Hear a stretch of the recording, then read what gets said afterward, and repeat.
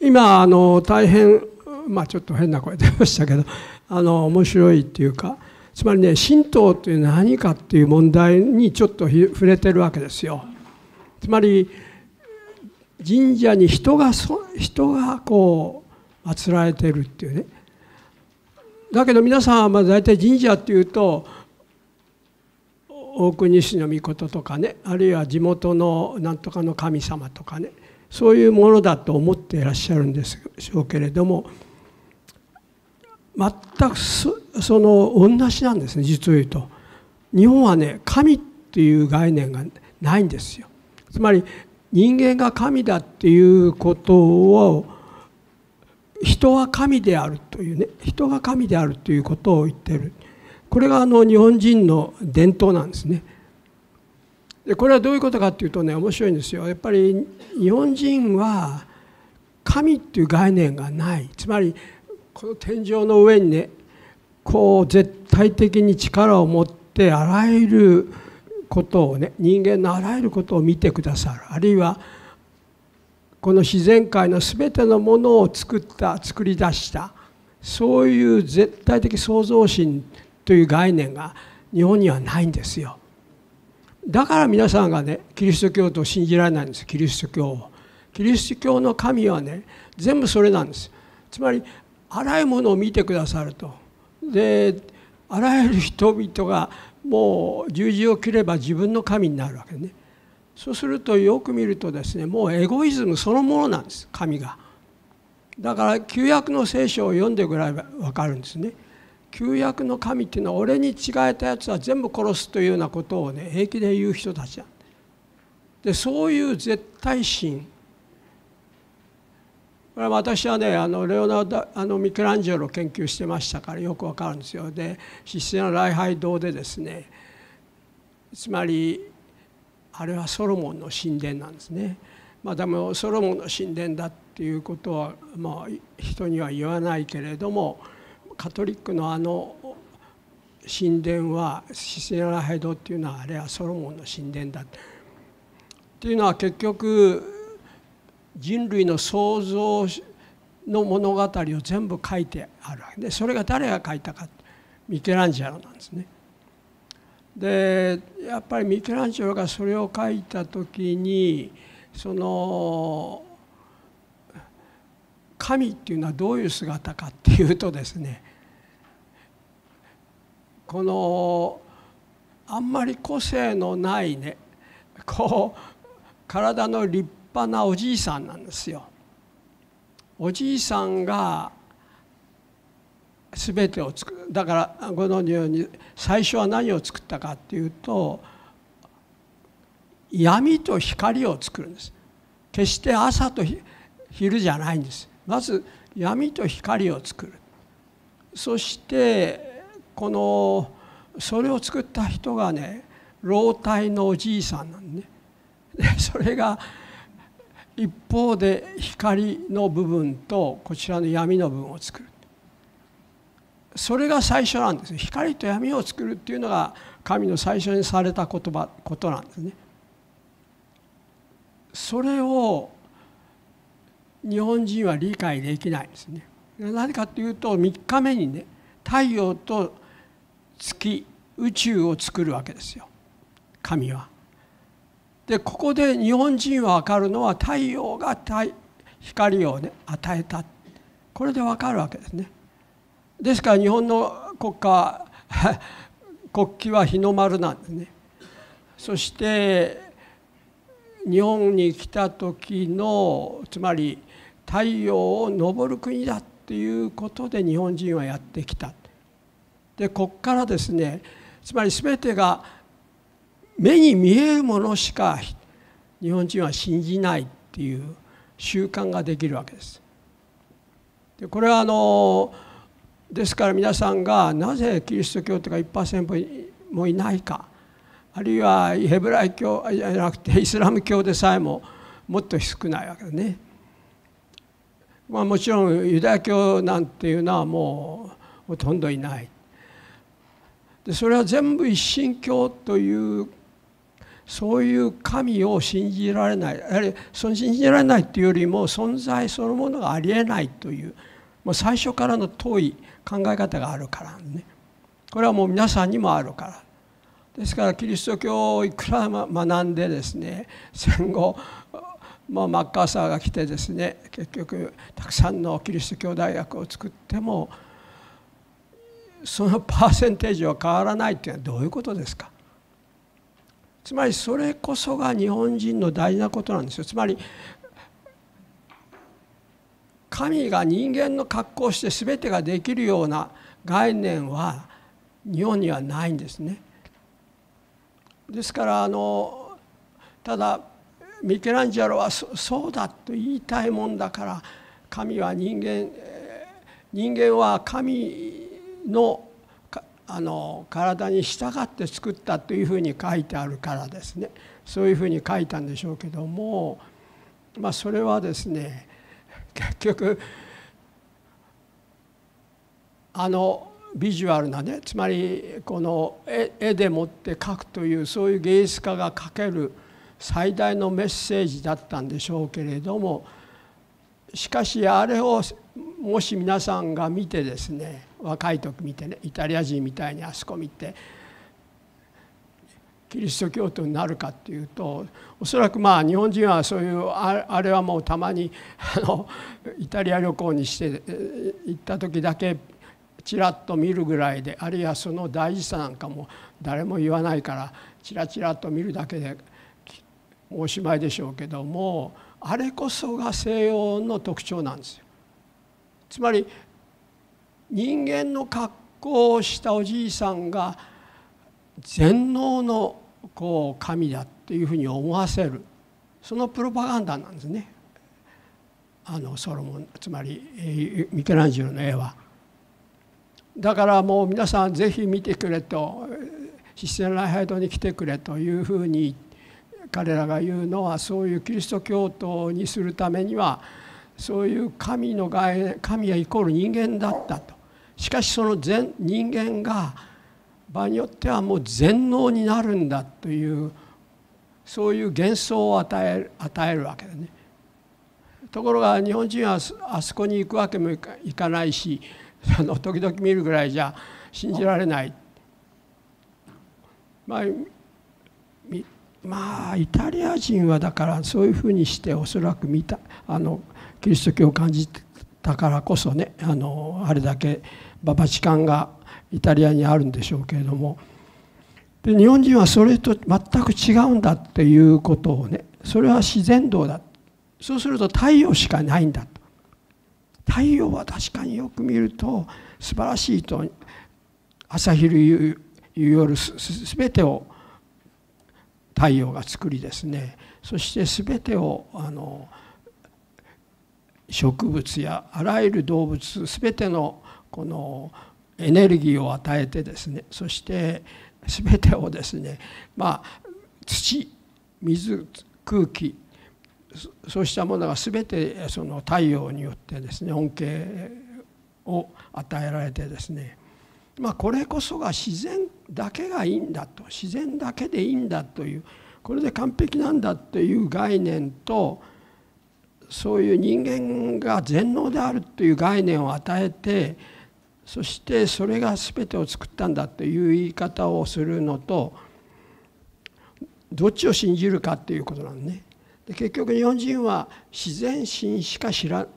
信じないというふうに言ったわけそれはそれはそ当然そうですよつまり日本は太陽が昇るところに行っているわけですからオリエンテーションというね言葉が英語であるようにそれ自体がもう東へ行くことですから日本に来ることなんですね。つまりそういうことで日本にやってきた人々たちは、まあ、ライジングサンとねあのルソレイルバンとルソレレバンってもう全てが向こうでは日本のことを指すね太陽が昇る国。だからそういうことでね日本人は太陽信仰なんだと今はねだからまあお天道様信仰ですねそれを身につけているためにですね結局それがはっきり言って縄文時代からそうだっていうことです。で縄文時代からまさにそれでまあこれはあのご存知と思うんですけどねあの縄文時代の人口が全て東にあるあるいは関東東北にあるという、まあ、それでもうはっきりと分かるわけです。ですからそのことが結局日本人の在り方の基本であるんでそれでまああの今回まあやっとこの本の批判の最後になるんですけど「日本書紀」と日本語のユダヤ起源とつまり日中同祖論のけあの本なんですけどもこれを最終的に今日あの批判してして終えたいと思うそれは何かっていうとこの本が出たからなんです。でこの本はですね言語を比較言語比較から見るヘブライ語と日本語という、まあ、副題ですけれども先住日本縄文人の自然道に帰依したユダヤユダヤ移民と新たなるヘブライ語日本語比較研究同目の展開というかでこれの名前がユダヤ人は日本に同化したっていう本なんです。でこれを本来はですねこれこれの批判なんです。だから日有同祖論を批判するっていう本にしてもよかったんですけども言語論で来てますからね。ですから言語は言語に答えようということで言語論として書いたんですね。これはあのまだ出てないんです。ですからまあまだ未発表なんで皆さんにあの紹介ししたいと思うんですね。でこれに私が何を書いたかっていう問題を今日あのここであのご紹介してまあ皆さんのご理解を得たいと思うんですね。でそのちょっと最初の一行はこれはちょっとあの一節はですねまああのまあ、私はねなんかやっぱり、まあ、ご存知と思うんですけどこの本を訳した久保有正さんとか宇野さんとかいろんなこうキリストいわゆる宣教師みたいな方が大体日中同祖論を言ってるわけでね。でそれなぜかっていうと旧約を信じてる人たち。これがね完全にその旧約に書いてあることは全て予言されているということで最後は「アーメン」と言って YouTube でも、まあ、たくさんの方がいますよね。なんとか光一郎さんとかいろいろと。まあ面白いことを言いながら最後は「アーメン」って言うと、まあ、ちょっと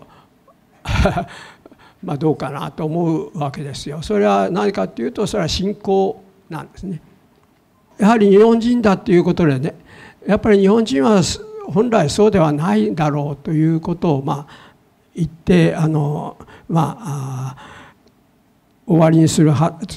これ議論してもしょうがないんですキリスト教の信仰者とね。ですからまあそういうふうにして終わる以外ないんですけれどもでこの2節目のですねアイデルバーグ氏の批判の書であるこのこの説教ですねこの説教のことであのでは日本語においてヘブライ語の影響は死が考える500語よりもはるかに少ない少なく100語程度だとに過ぎないと言っておきたいと。でこれがまあこの本なんですね。で一応500語を全部あのここに書かれている500を調べてですねまあ私なりにということになるんですけどもでもともとあのヘブライ語っていうのはご存知のようにあの死因を中心にしてますからねだから日本は日本語はあの母音を中心にしてますからあのいわゆる言語として似てないわけですね。そして特に日本の語の場合アルタイ語系というか、まあ、これも朝鮮語もそうですけどもあのモンゴロイド系であの結局最後に動詞は最後に来るとかね大体そういうことで一定した語順があるそこの言語だとは普通言語学者では考えられてるわけですね。ところがこの方たちは日中日本というユダヤが同窓論っていうことを言いたいわけです。で私は賛同にわたって皆さんにねあのこれの批判を続けていたわけです。まあどの程度皆さんがね納得されるかあるいはまあ覚えてらっしゃるか分かりませんけれどもそれで結局日本人は彼らがやってくる前にですねユダヤ人っていうのはいつやってきたかっていうと私の考え方ではすでにスサノオの時代から、ね、やってきてるというふうに考えてるわけでそしてスサノオそしてまあ天孫降臨された時にはもうすでに入っている。そしてまあ紀元前10世紀頃からあるいは紀元7世紀のねあのまあいわゆる神武天皇のまあ大和国家ができる。これはちょっとねあの修正しなくちゃいけないんですけどこのことは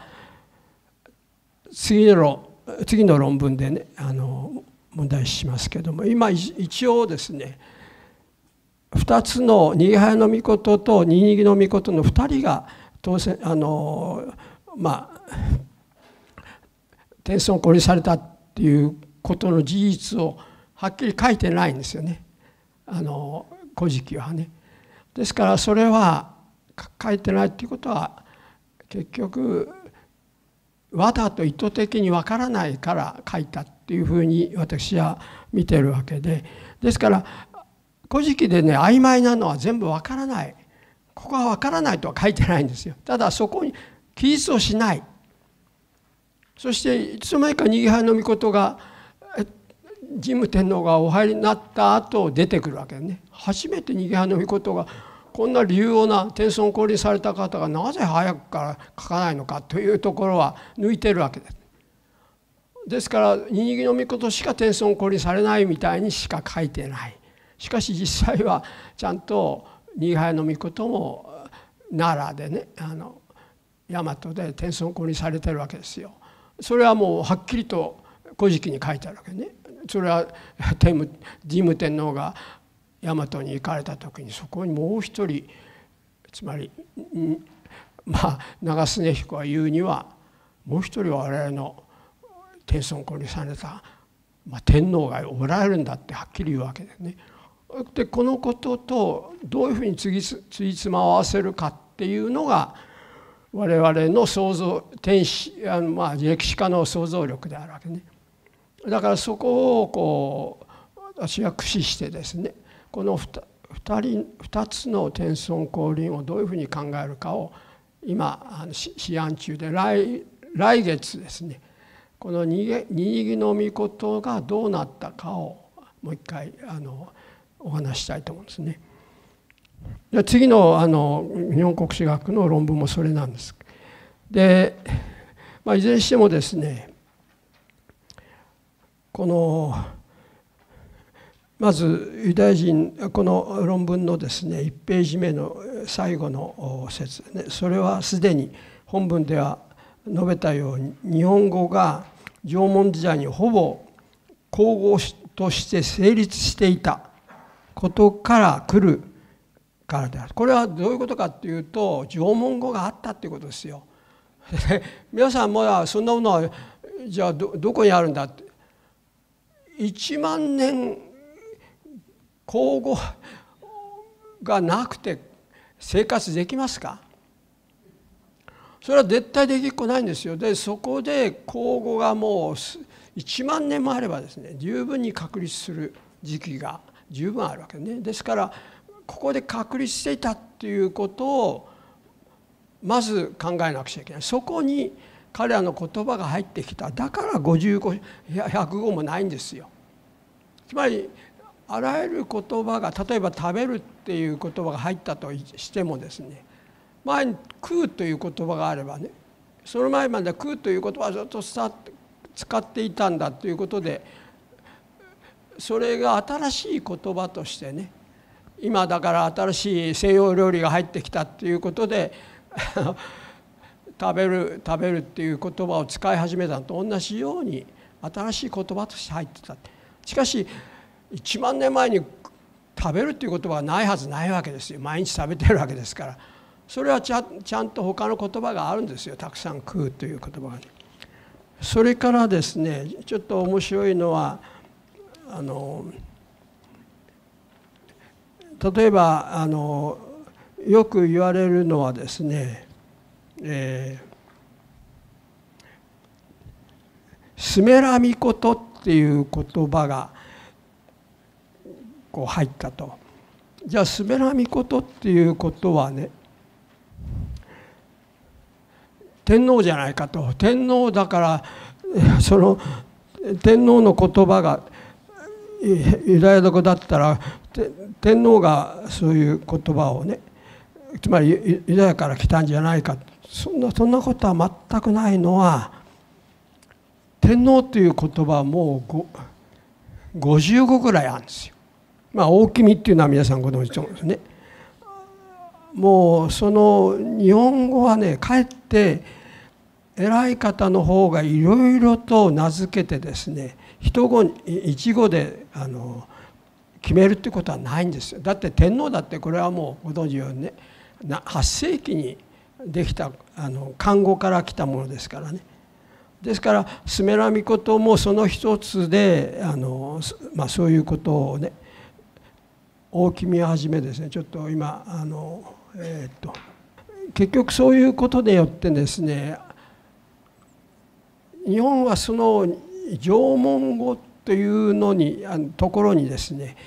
もう確立した口語の世界があったということなんですね。でこのことをねまああのおいおいあのお話しますけれどもでここにあるようにねここであのその少ない中でも注目しなければならない多くの信号がユダヤたち国土地によってもたらされたっていうことは彼らが確実に来日したっていうことは分かるということね。でそのそういうことは分かるということを言ってるわけです。つまり日本にすでに活躍あの言語口語であの言語は確立していたけれどもそこに新しい言葉として単語としてですねユダヤ語が入ったに過ぎないということね。でだから根本的に言語の構造は全くユダヤ語と日本語は違う。それから言語の性質も違うというね。まあ今言ったようなね発音もあのはっきりと違う。じゃあ何がどういう言葉が入ったか。それが2ページ目のですね浸透的な言葉が5語あるわけね。これはまあ具体的にあのその彼の500語からまあ抽出したわけですけどまず日本の神社の儀式に使う用語である。その1の「へざ」これはまあ「へざ」っていう言葉は私も知らなかったんですけどこれは「へざ」と「とざ」と書くわけね。とざのことで祭儀の際の地位の名のことである。あるいは皆さんがね柏手を打つというこの柏手を打つっていう神道儀式のかの柏手もどうもヘブライ語らしいというね柏手でそれからもう一つ区物まあ皆さんがねあの神道あの神前に備えるものという区物これがやっぱりヘブライ語から来ているとでこれはまあもちろんヘブライ語つまりユダヤ人たちのユダヤ宗教からも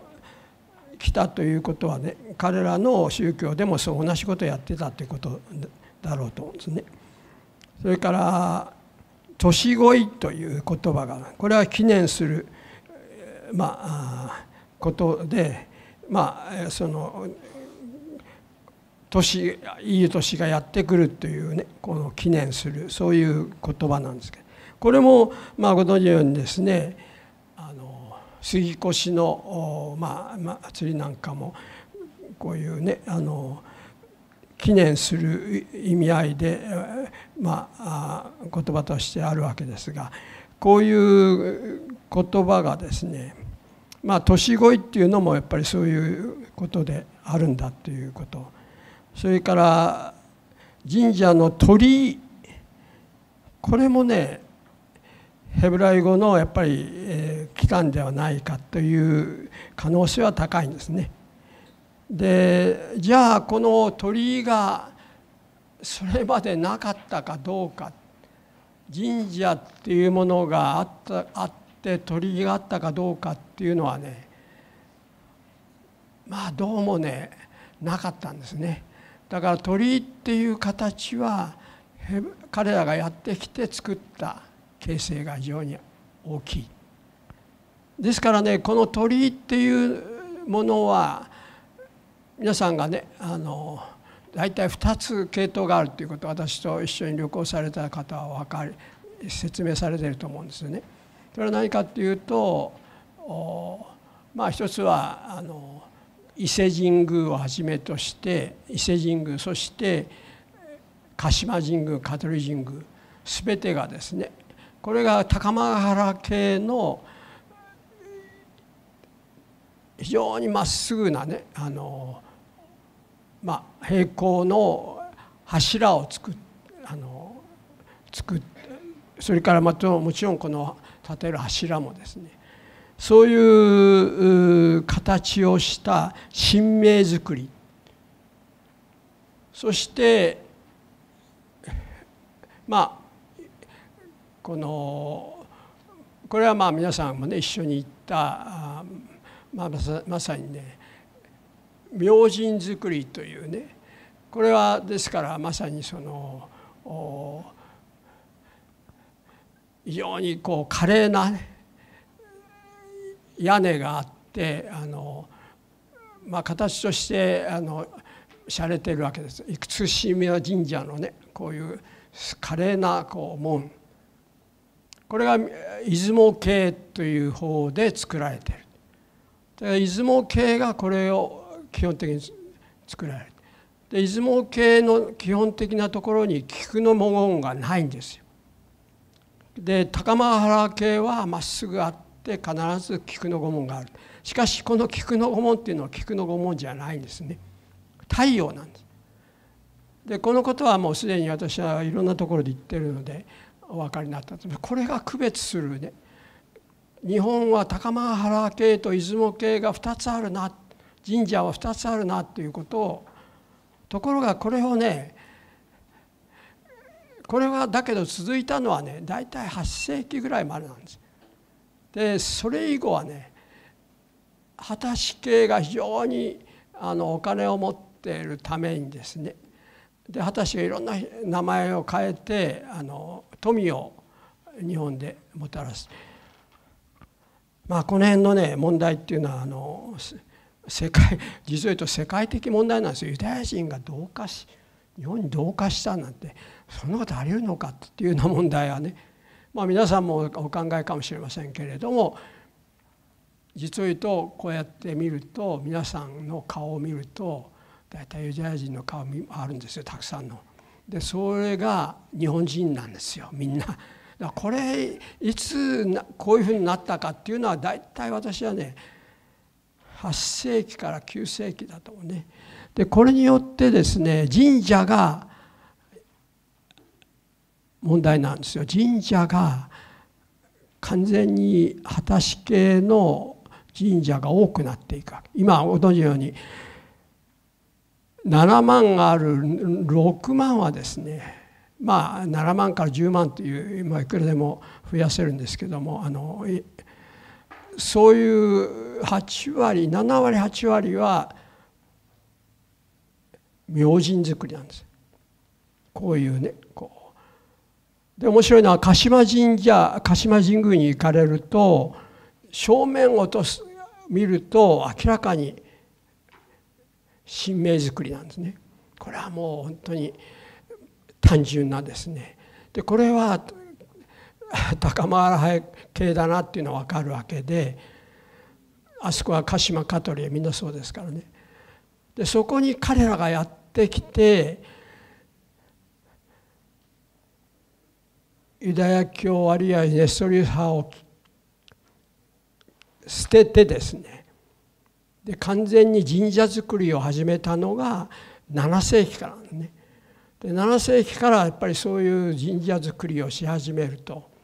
そして面白いのは神道というものを日本の宗教にしようとするわけですね。まあ、先ほど久野君が、ね、あの久野さんが言ってましたけども戦後神道が仏教と比較して完全にこの否定されて敵左翼が日本の宗教って神道神道が悪いっていうことをね、まあ、軍国主義とくっつけて、まあ、全部軍人がねこう神社で祀られることもあるわけですからそれはねだけど彼らのあれでもあるんですよね、まあ、戦後の左翼がみんなユダヤ人だったっていうこともあるんです。まあおそらくそういうこともあってね神道をこう完全に敵にしたわけですね。だけども実を言うと彼らこそが神道を気に入ったんですよ。でこのことが一体何なのかっていう問題が6世紀7世紀にある問題なんです。でそれからもう一つ仏教をね取り入れたのも日本人でこれは聖徳太子で聖徳太子というのは蘇我氏の子ですからねユダヤ系なんですよ。だけれどもこの方がお寺をつまり法隆寺を作りね法隆寺を作りつまり寺という一つのこれも必要日本人は必要だと思って取り入れられたねこれがまあ私もすでに言っているように個人宗教として取り入れた。でいわゆる神道がそれまでの伝統的な神道は共同宗教であるとこの2つを取り入れることによって、まあ、何度も言っていますけど日本人の心が安定したんだということを言ってるわけです。でまあそういうことのもうことなんですけれどもねその中の神道的な言葉に例えばこのネギまあ宮司さんの下にネギがいるわけね。おそらくこのアイデルバーグさんっていうのは神社に入ったわけですから神社で勉強されたっていうわけですからまあ宮司じゃなくてネギだったんだと思うね。まあネギもうもらえなかったのかもしれませんけれども。まあ、えー、神社のねあのまあ方だということで、えー、入って。でこのネギという言葉もユダヤ人ヘブライ語から来ていると。それからね重要なのは30この1の神道的言葉で一番重要なのはお祓いです。でお祓いっていうのはその言葉もそうであるこのことはお祓いがユダヤ語から来ているということはお祓いっていうのは非常に重要だっていうことなんでね。これ何かっていうとユダヤ人に関係してるんですよ。でこれについて前にもお話したんでねまあ繰り返しにもなるんですけどもユダヤ人には現在があると。これはもう何と言ってもミケランジェロのそのシステン礼拝堂の最初にですね一応そのアダムとエヴァが作られた後ですねエデンの園に、まあ、彼はあの2人は幸福に暮らしているそこをその、まあ、まさにですね現在を犯すわけで食べていけないという果物を食べると、まあ、その時の姿がねまさに現在なんだということを言いましたね。まあこれ、まあ、ちょっとここだけの話ですけどやっぱりそれはアダムとエバが純粋なこう性食性を性行為やってるんではなくてまさにですね これはつまり聖職をしないでそういうですねまあ行為を するというね。つまりそこにねもう彼らは現在を犯したと。つまり本来は生殖することが男女なのにそれをしないその代償行為をやったというところで彼は彼らに、まあ、追放されたということをね言ってるわけです。でこのことももうすでにあの現在がそういう意味なんですね。でこのお祓いっていうのはどういうことかっていうとそのお祓いによって彼らのその現在をね消すことができるんですよ。だから日本にやってきたユダヤ人たちはそういうこの旧約のですね現在を日本で消すことができるのがお祓いなんです。でですからねこれによって彼らは同化していくわけですね。現在がねあのまだあればねそれはもうまあ割礼はねあのもうしないしないんですよね。しかし不自然でね日本人はまあそれはもう受け付けないわけですがしかし現在感はあるんでねだからこれだけはもう彼らの記憶しているところなんでまああの日本に聖書がね何か証拠として残ってるかそういう書物がねしかし巻物として残ってるはずだったんですよ。しかし巻物つまり洋筆でも何でもあれですね巻物として持ってきたものは全部78世紀頃に全部燃やされた可能性がある。これはねなんか古事記は日本書紀特に日本書紀に書かれているように日本書紀や古事記の前にたくさんの天皇記とかいろんなものがあったというふうに我々は言われてるわけでね。でそれを全部蘇我氏が焼いてしまったというふうに思ってるんですけどどうもねどうも蘇我氏は自分たちの聖書を焼いてしまった可能性があるね。だから彼はねまあこれはあの聖徳太子は暗殺されたっていう本で書いたんですけど聖徳太子は蘇我氏の息子ですからね。そして同時に蘇我氏は我よみがえりネストリウス派です。ネストリ派のキリあのユダヤ人ですから。でここのところまでたくさんの聖書があったに違いないんですよ。あるいは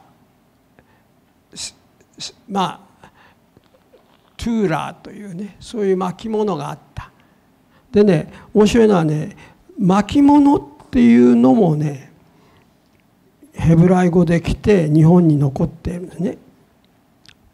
日本人はね巻物でね本あの残すことは、まあ、確かに絵巻物はありますよね。ただあれはま中国からやってきて大体こう日本はその雷まあ木に書いてある木に書くっていうのがまあ大体最初のね言葉の証拠なんですけども木に書いてるねだから巻物じゃないんですよ。で巻物っていうのはやっぱりねあのかなり紙がまあ強いっていうこととそれからまあもちろん用紙とかねなんかではできますけども。かなり絵巻物ができたのがだ大体まあ8世紀ぐらいあの仏教の説話をね巻物にした可能がありますからね、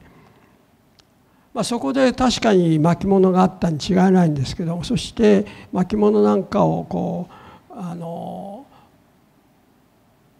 これはあれですね法流あの東大寺の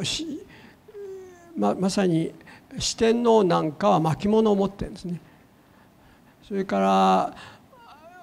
多くのそのまあ僧侶がですね巻物を持ってるですからこの辺はね確かに彼らが持ってきた可能性があるわけですがしかしやはりこれはですねこの風習がおそらく仏教あるいはそれ以後のね絵巻物なんかにも継がれた可能性はありますね。だけどもどっかでそれがこうそうなっても私はね一番考えられるのは聖徳太子が暗殺された後ですねで長い間今度はこの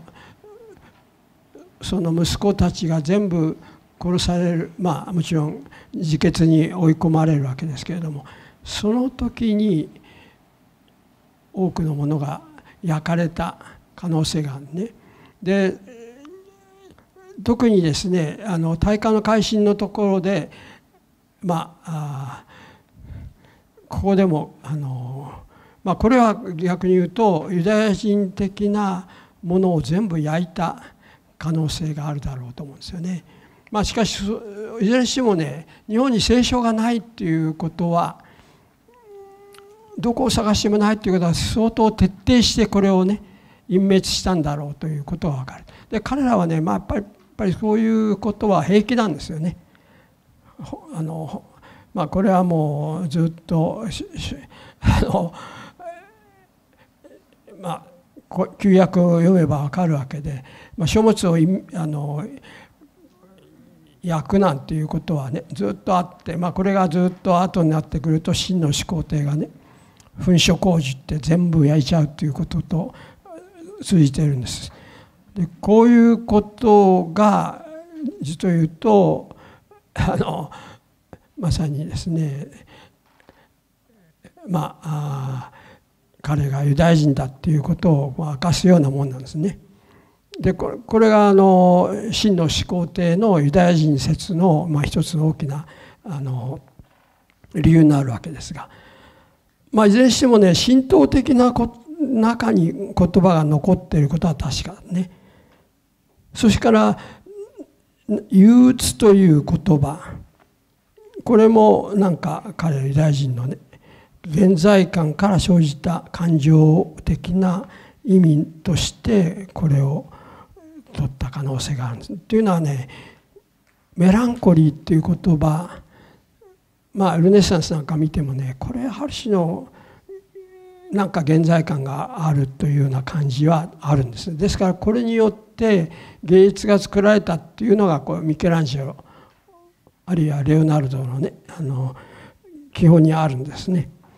まあここの辺はねちょっとあの 時間が少なすぎるんでこれでやめておきますけどもそれから政治的な言葉であのヘブライ語が使われている。一つは、えー、あこれスメラでしたね。そうそう。このスメラあさっき言いかけたのがここに出てきました。スメラ御事のスメラ。でこのスメラミコトのスメラっていう言葉とこれがまあヘブライ語から来たんだっていうことで十部族の一つ一つの名前であったこと。スメラね。イスラエルの十部族それから来たんじゃないかというわけですけれども。そししかしですねこの最後に私最後最後ところに私がさっき引用しかけた言葉「大君」それから太あの天皇のことを上神両方とも上とかあの漢字は神それから主情あるいは工場まあどういうふうなねあの訓読みであれするかまあ大体想像がつきますけども金城これはもう金城天皇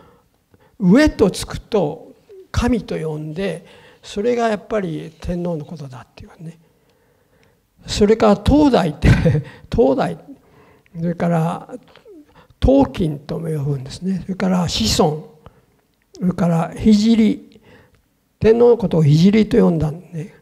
それから一人あの一人というのも天皇の名前としてあったというわけでね。それから神ご一人まあこういう言葉みんな死語化して今は誰も使いませんけれども当時はたくさんの名前で天皇が呼ばれたんでスメラミコトだけじゃないんです。ですからスメラミコトがヘブライ語だから天皇はヘブライユダヤから来たんだっていうのはまあ嘘だと思いますね。つまりもうすでにこういう言葉が縄文時代にあったということなんですね。まあ確かに全部いろんな単純な言葉で「上」っていうような言葉が神と結びつくなんていうのはまあある意味で非常に単純にまた記憶もそれでされるし、まあ、すぐにも言える言葉としてあるわけでね。それから支配者がからの命令とかねそれから伏兵とか城お城の城もそうだっていうね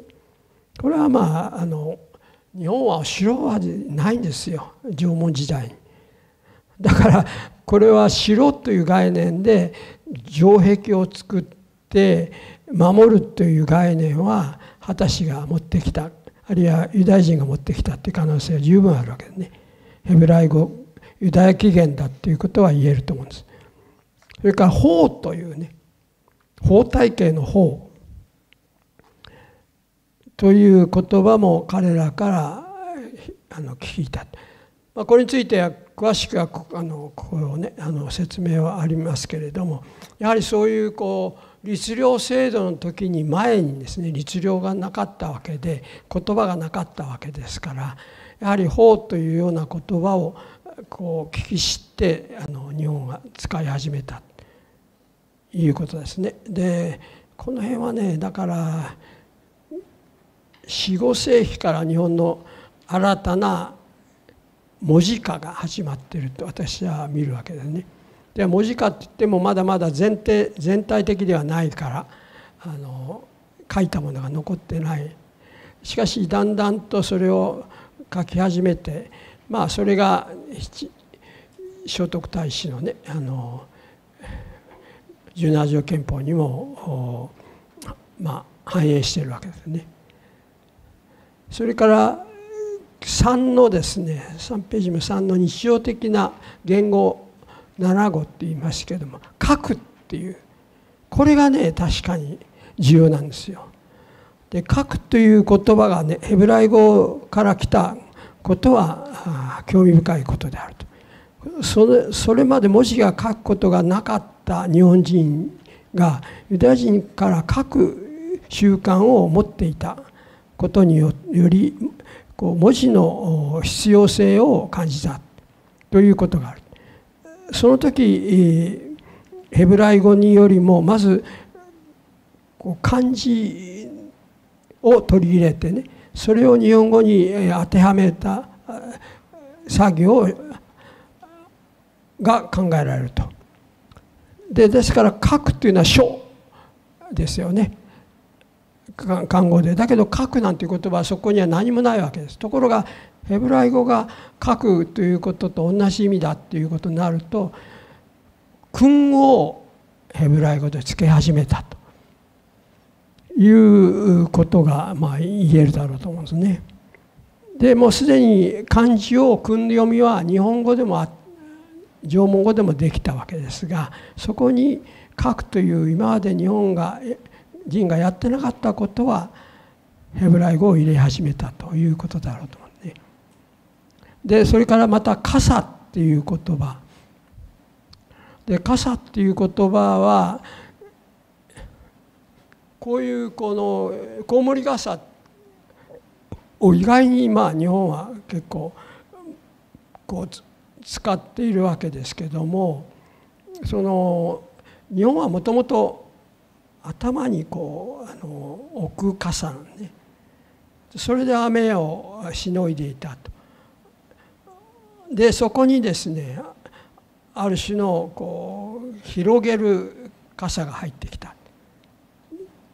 まあこれはですからもちろん今みたいに蛇腹でこうあの折りたたみはできないけれども広がる傘骨がこうついた広がる傘はユダヤ人が持ってきた。でそれを同じように傘と呼んだっていうね彼らが傘と呼ぶから今まで使っていた傘を まあまさに重ね合わせたっていう感じでしょうね。まあ、いずれにしてもどっちが傘の言語かっていうのは分かりませんけれども、まあ、そういうふうに傘を 重ねたという。食べるっていうことは先ほど言いましたけどそれから4番目のね芸術に関する言葉がかなり多いなという感じはするんですよ。それは一つはね4のところ下のね4ページの仮面っていう言葉ねこのヘブライ語から入ったと言われる時これはあの脳でですね仮面という言葉が使用しますから、まあ、これがあのヘブライ語だっていうことは非常に可能性があるわけです。でこれによって脳が作られてそして仮面劇というものが日本で成立していくわけですね。でその仮面劇って何かっていうとユダヤ人の顔を隠すという意味もあるね。ですからあのユダヤ人っていうのはまあ皆さんもあのなんか日本と完全に違う鼻が高くてですね目が深くてですねそういう あのイメージを浮かべるでしょうけれどももうあの埴輪を見てるとですねすでに目はほとんど日本人の目なんですねだけれども鼻とか姿がですねやっぱり彼らの格好をしている。ですからまあ何度も言いますけど日本人がこれだけユダヤ人を感じないのはもう10世紀以前に前完全に日本に同化しているからね。そして誰もあなたはユダヤ人だっていうことを言うことがない。たとえだけれども少なくともまあ空海やねいろんな人たちの中にユダヤ人を感じてどっかこう彼らがまあ違うなっていうので追放されたりするような人がいるとやっぱりそういうまあ人の中にそのユダヤ性を感じたんだろうと思うね。でそういう人たちがもうずっと系列としてあるわけですがまあそれについてはまたあの弁当の機会にしますけれども。それからですね、えー、彫刻という言葉がこれはなんか中国から来たように見えますけどもね。そういうこう争奪するとこの分野で大きくユダヤ人の系の人々が関わったと見てこれはだから私は非常に仏像史をやってますからね。仏像は日本は本当にすごいものだということを言っていて日本美術全史をまあそれで書いてるわけで。まあ今日本美術全史も英語で出てますからね。あの一般のあの方もあの日本に来て皆さんがね読むといいと思うんですけれども非常にその半分はユダヤ人系の四天王をはじめとした顔をしているわけですね。だからまあここにですね「君まろ」「まろ」といった人たちのまあユダヤ人の要素があるということは十分まあ考えるわけですからそういうこととから火曜のカゴメかごめかごめっていうねかようにあるのはこれはあのかごめっていうのはあのちょうど六房星あの六秒星がこれ六角をしてますからね。でこれがあのダビテの星だっていうことでまあこれをイスラエルの国旗にも使われるわけででこういうことも日本にのまあ、カゴメカメラっていうので残ってる。しかしカゴメカゴメではわからないのね。だからやはり彼らはね全部それを消していくわけですよね。ですからあの私はこうのねあのまあ尾崎神社に行って全部消えてるなって感じしますよね。だけどそこに不思議な面が残ってたり仮面が残ってたりそれから宮司様そのものがやっぱりそういう血筋を引いてるっていう印象を強く持つ顔をされてるわけです。それからですねだけど意外に少ないですよそのくらいなんですね。であとはね実を言うとこのアイデアブラック氏が触れてないのはあの民謡ですね相撲とか民謡のことなんですね。まあ、これについてはねもう時間があのかかりますけどもヘブライ語が影響を与えていることは確かです。で例えばやっとまあこれはヘブライ語でですね川森田先生がすでにもう明治時代に指摘されてるわけね彼はあの34例を挙げてるわけですが八景より残った。という言葉がね相撲の八景より残ったという言葉が投げ打ち投げ打ち倒せっていう意味なんそれから「やとこせえー、よいよいやななや」とかね。これは敵を投げたヤーウェイの神をの憐れも深いといったそういう意味だっていうね。それから伊勢運動でやとこせ高井山がヤーベは憐れみが深く存在するという意味だってねまたあの最上川温度ではですね「良いから任せ縁やら任せ任しょう」これは栄光の民は敵を征服したという意味だということをが書かれてるわけね。でよさこい武士もにも「さこい」というのはそれはあの懲らしめよいまあ あのこれは敵の意味ですから。でこれを見てるとね面白いのは日本をそのできる限りそういう敵と見てあの結局ユダヤ人化し彼らはユダヤ人化したいんでしょうけどもそういう言葉を使いながら日本日本に同化していくという、まあ、そういう感じをね非常に持つわけです。だから相撲でですねやっぱりまあ確かにああいう裸体と裸体とぶつかってですねある意味で喧嘩するあの最初の頃はですねこの喧嘩で大体最後は殺しちゃうんですよねというふうになるわけです。そのくらいの徹底した戦いを最初は相撲でやってるわけですけども例えば天使とねヤコブの戦いなんもこう、まあ、そういう、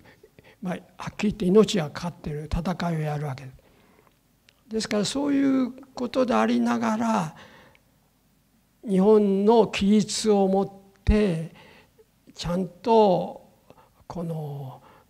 体と体と戦うということに修練していくそして決して八百長するなと決してその乱暴な手を使うなっていうこう禁手をね禁止を作っていくこれが日本なんですよね。それであそこああいう形になったわけです。ですから最初はもう相手を殺すまでやるというところはユダヤ的であるわけですね。でそういう言葉がよく使われてるんですよだからこれねだから発狂に残ったという言葉は投げ打ち倒せっていうわけですから、まあ、最後は死ぬ殺すわけですね。というところから始まってるっていうのはよくわかるんですよ。でまあそういうことでねあの、まあ、時間がそろそろなくなったのであとはこの本を読んでいただけばいいと思うんですけどちょっと最後にですねこのように最後のページですけどね。まあ、ちょっとその前のところも読んでしまいましたがこのようなユダヤの古代の戦いの歌詞が伊勢最上川そして東北民謡に残っていることは当然ユダヤ人たちがここに来てですねいかに戦いの意志を古代日本に持ち込んだということは分かるしかしそれが民謡だっていうところにねもう彼らの同化が始まってるわけですね。でそれが現代のまあこれはちょっと余計かもしれませんけれども現代のイスラエルとパレスチナの戦いまでそういう言葉をでつまり彼らの戦う意志だけがね残ってるっていうことが非常に残念ですよ。日本はそういう言葉を残したけれども相撲相撲というようにね決して殺さないスポーツとして残っている生きてきているというね。そそれは彼らがやっぱりそうしたからね。だから彼らがそういうことをしちゃいけないんだということを自覚したからなんです。もちろん日本人はそうだっていうふうに言ってたからね。それに従ったんですけど。でこのように96例に過ぎないとはいえ日本語によるおける重要な言葉にヘブライ語によるものがあると考えられるがそれは彼らのライズによる新知見の単語に絞られるようだと。もっと広い範囲の人々人間の身近な身体的なもの日常的なもの天候や季節的なものになどにはヘブライ語の影響はないあるとは思われない。特に、文章の構造文文法関係関係はそれは先ほど言いましたよね。アルタイ語に近いんでヘブライ語には見出せないわけでね。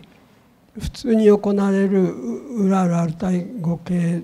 であることが肯定されることになる。つまりそういうところからずっと通ってきた日本人が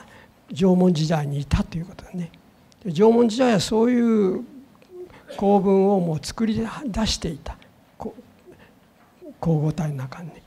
で最後にですねユダヤ系民族が紀元前20世紀頃から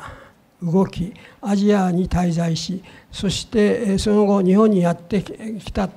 ことでかつて日本の交互体による言語体系が